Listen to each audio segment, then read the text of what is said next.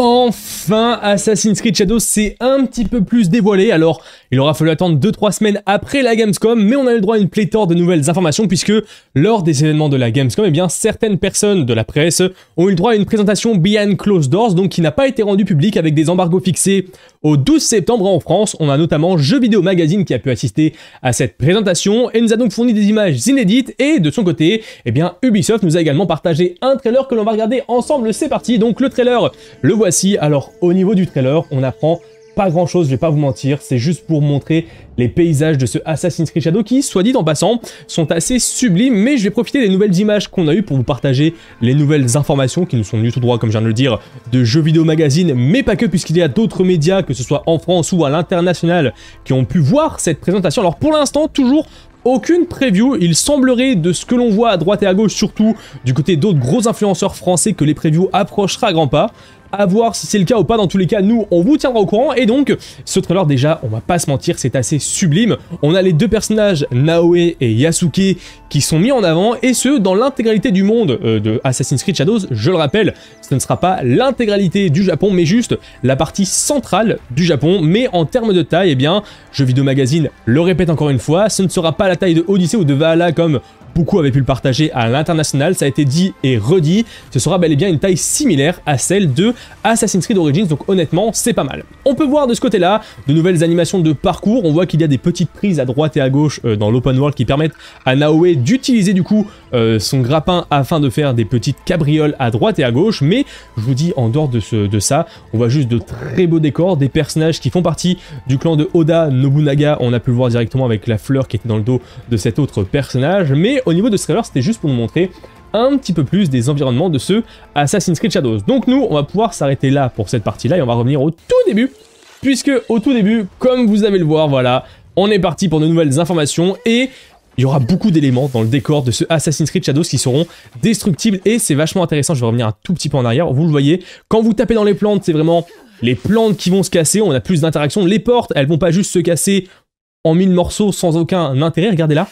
on voit vraiment que c'est à l'endroit où le katana a tapé que la porte est déchirée. Et là, voilà, hop, on voit qu'il a tapé en bas, ça a cassé en bas, et on voit qu'il a retapé en haut, ça a cassé en haut. Franchement, c'est assez poussé et c'est vachement sympa. Alors, je sais, il y en a parmi vous qui vont dire, ouais, mais c'est moins bien que Ghost of Tsushima. Tais-toi, si t'es pas content, quitte la vidéo, va de ton côté. Laisse-nous profiter, nous, on a épé par Assassin's Creed Shadows, et honnêtement, de ce que je vois là, de 1, c'est extrêmement prometteur visuellement parlant, et au niveau de l'interaction avec le décor, c'est pas mal, même si Jeux vidéo magazine et Momo du coup est revenu là-dessus en disant que malheureusement certes on a de l'interaction avec le décor en termes de destruction, destruction oui ça se dit en termes de destruction, cependant il n'y aura pas de vraie interaction du style vous cassez un étalage d'orange qui tombe par terre qui font glisser des gardes, non ça ça n'existe pas. Mais revenons-en directement au gameplay, hop on remet ça et c'est parti. Donc on voit il peut casser les portes, il peut casser les portails, on voit vraiment que ça se casse à l'endroit où il a tapé. Et comme je vous le disais là on a des fruits qui tombent par terre mais les gardes ne pourront pas glisser dessus on le voyait, ça n'a pas forcément intérêt de péter des trucs de poisson ou des trucs de, fruits, mais on aura sûrement un trophée qui sera lié à ça.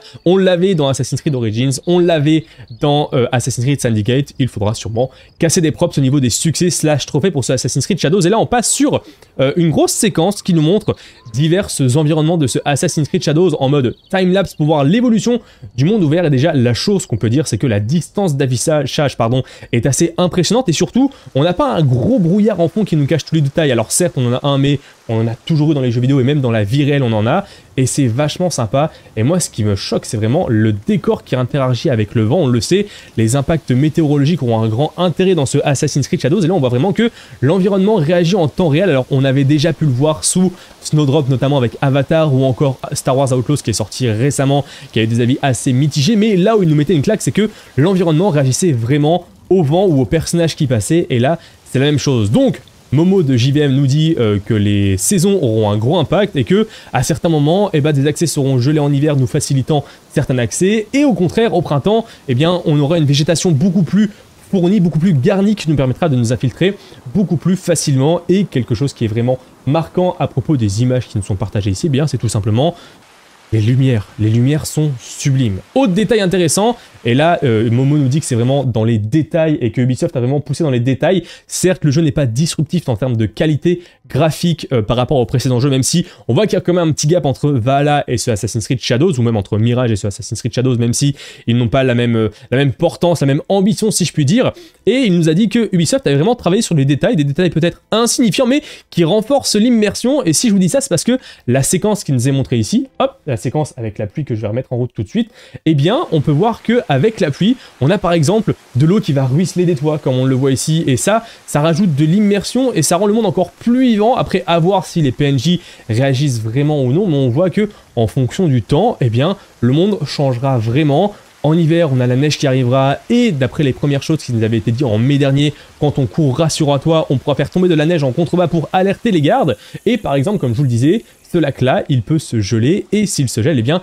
il nous permet de 1, bah, de pas faire de l'infiltration en passant dessous avec notre tuba, mais de 2, il peut nous permettre de couper au cours et ainsi d'être beaucoup plus facile d'accès. Comme je vous le dis encore une fois, les éclairages qui sont somptueux, on voit que la végétation est vraiment garnie, que l'environnement est vraiment vivant. Franchement, ça va changer parce que certes, les forêts de Assassin's Creed 3 ou encore Assassin's Creed Valhalla, on avait un certain gap entre les deux, mais ça restait des forêts de jeux vidéo. Là, on a vraiment l'impression d'être dans une vraie forêt au Japon.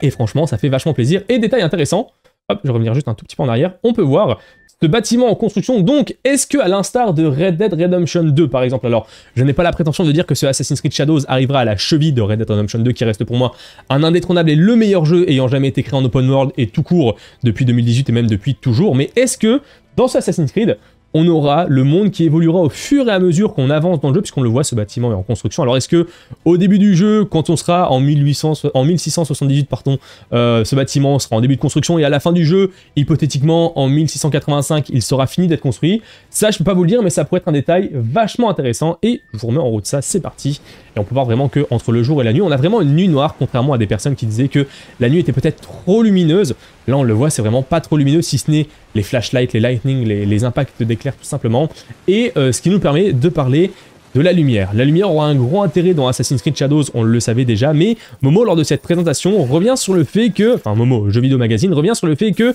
quand il fait noir, il fait noir et les ennemis ne voient absolument rien. Donc on a vraiment des mécaniques à la Splinter Cell et vous devrez, si vous voulez jouer full infiltration, jouer de 1 avec Naoe, mais en plus de ça, vraiment, jouer avec cette lumière, les casser avec vos kunai, etc., etc., pour progresser le plus possible dans l'ombre, et euh, bah, un assassin travaille dans l'ombre pour servir la lumière, et c'est la première fois que ce concept sera vraiment mis à l'œuvre dans un Assassin's Creed, avec du coup, ce Assassin's Creed Shadows. Encore une fois, divers paysages, et je reste là-dessus, on est marqué en Work in Progress en bas à droite de l'écran, mais ça reste somptueux. Il y en a parmi vous qui me diront peut-être que c'est pas à la cheville d'un Red Dead ou d'un Ghost of Tsushima. Pour Red Dead, je suis d'accord, même si euh, GTA 6 va tout éclater à sa sortie. Ghost of Tsushima, lavez-vous les mirettes, vous avez un petit problème parce que, honnêtement, c'est somptueux, c'est du in-game, et franchement, Certes, on n'a pas euh, mis la main dessus, on ne sait pas ce que ça donne une fois euh, manette en main au terme du gameplay, mais l'open world, on va pas se mentir, Ubisoft a toujours été extrêmement fort pour nous partager des open world vivants et vachement intéressant et on voit vraiment qu'en fonction du temps, eh bien ça change vraiment, t'as pas l'impression de voir toujours la même chose et la pluie ce n'est pas deux trois traits blancs qui passent devant l'écran, non on voit des petites particules de feuilles, le, la brume etc etc, les arbres qui réagissent et c'est franchement vachement intéressant et là on le voit, la neige arrive et je vais passer la souris ici, on voit que ce petit ici est en train de geler et qu'on pourra passer au cours directement et ça vachement sympa et ça multipliera les possibilités puisque je le rappelle, à un instant précis dans le jeu, et eh bien tous les joueurs n'auront pas la même saison et donc tous les joueurs n'auront pas le même, la même approche possible. Pour les missions principales, on aura tous un déroulement des saisons qui est équivalent, mais pour tout ce qui est du secondaire et de l'exploration, ce ne sera pas la même chose. Donc voilà ce qu'il y avait à dire pour ces nouvelles images, j'espère que ça vous aura plu. Je rajouterai également que le SRB a été fait du côté euh, américain et que ce Assassin's Creed Shadows a été classé PG-18 officiellement étant extrêmement violent et les PNJ pouvant insulter euh, notre personnage. Voilà, c'était un petit détail qu'il fallait ajouter. Et pour le reste, comme on vous tient au courant de l'actu en temps réel, et eh bien, enfin en temps réel, tous les dimanches, on était au clair là-dessus. Donc bien évidemment, si la vidéo vous a plu, n'oubliez pas le petit pouce bleu, l'abonnement et le partage si ce n'est pas déjà fait. Et bien évidemment, malgré euh, le bad buzz, j'ai envie de dire, autour de l'attente de ce Assassin's Creed Shadows, j'en reste putain de hypé. Si jamais c'est votre cas, dites-le nous en commentaire. Et sur ces belles paroles, et eh bien c'était First en directeur de vos écrans pour la expérience. Et paix sérénité.